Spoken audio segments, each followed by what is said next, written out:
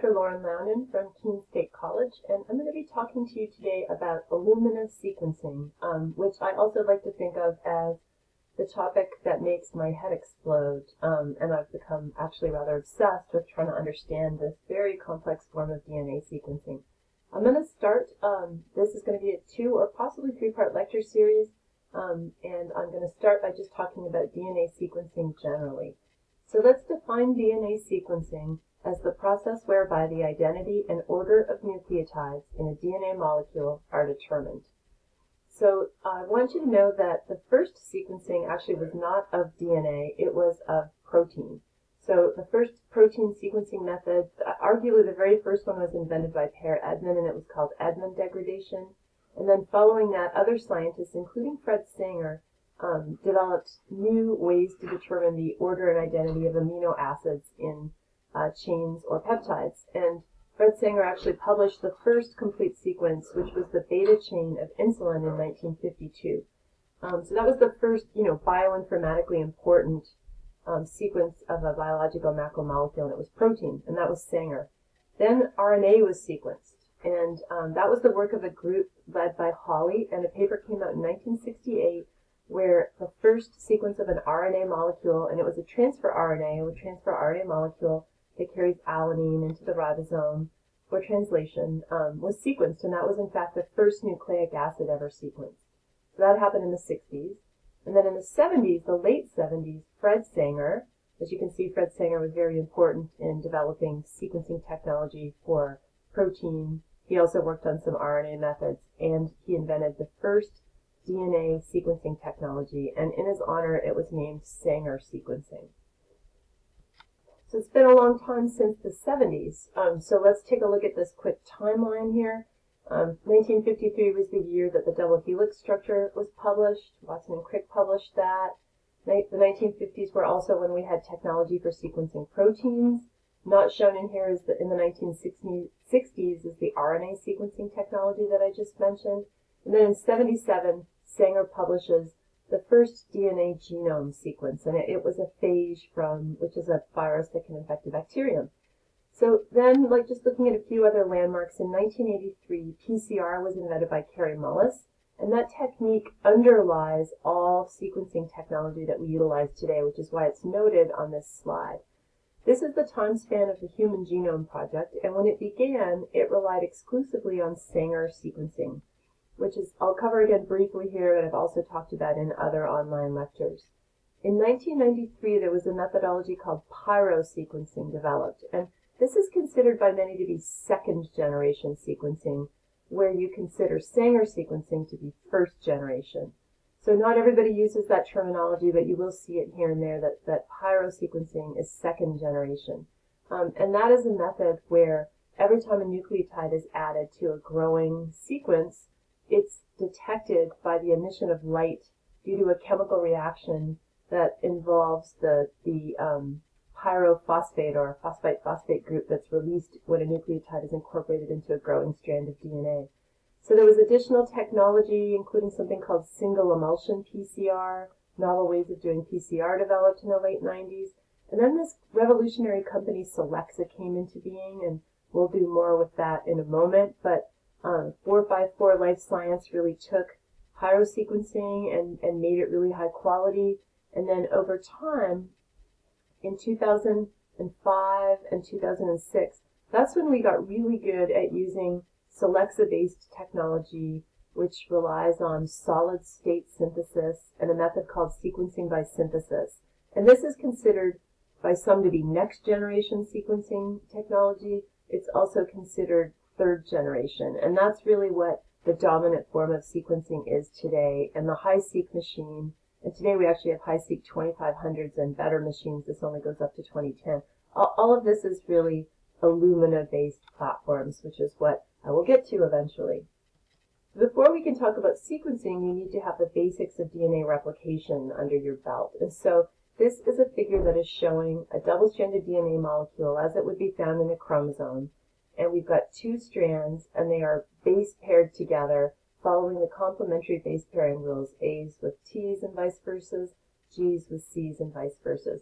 The orientations of these strands are not shown, but if this was the 5 prime end here, then on the other end of it would be the 3 prime end. And every strand can only base pair with something that is both complementary and anti-parallel. So if this is 3 prime, this has to be 5 prime, which makes this the 3 prime end of that blue strand. Now, what we see is when a chromosome is copied, both sides of the original molecule are used as template in order to produce new complementary DNA that is always grown by adding to the 3 prime end of the growing um, of the growing sequence that'll be going into the replication fork on one side, away from the replication fork on the other side.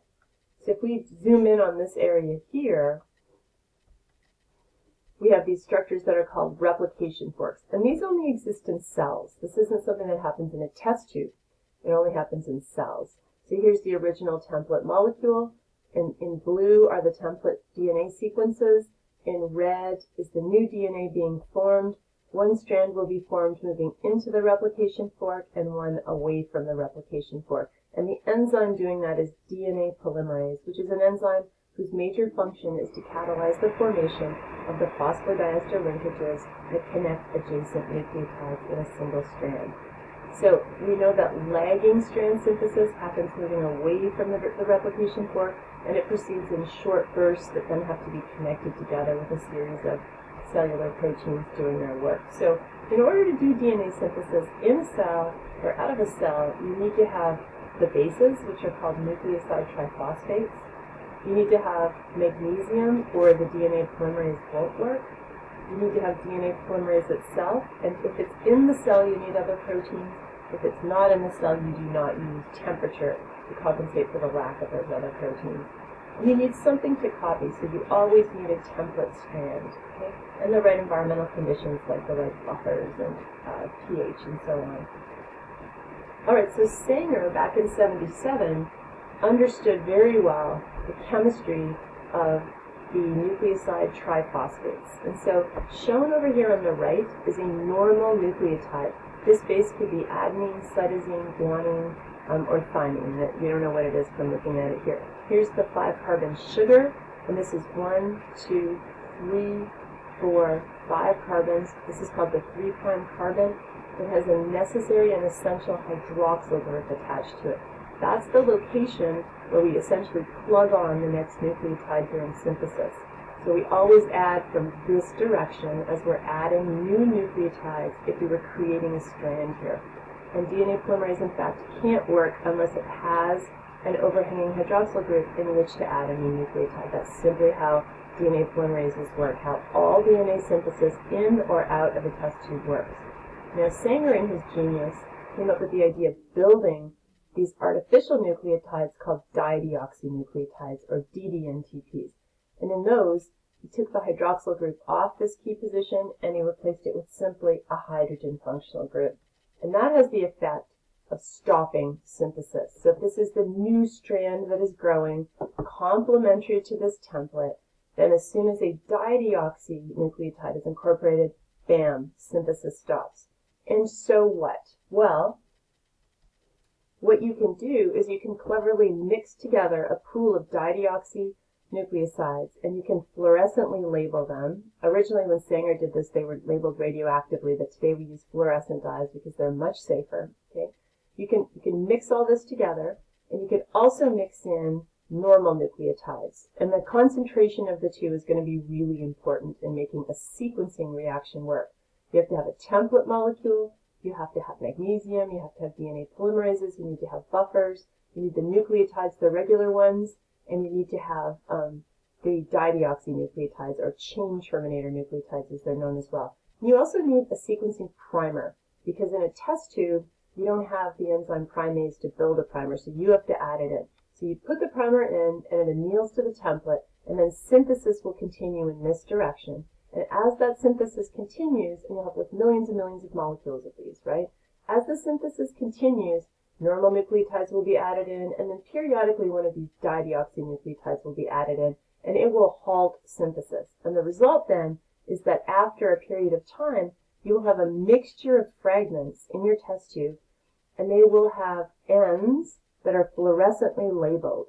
And that fluorescent labeling will tell us what nucleotide is on the very end. Next, all we have to do is size separate. So we can take this mixture and we can run it through a capillary gel, um, which is like a flat gel but in a little tiny round column. And the little things will travel faster than the big things, and out they'll pop at the bottom.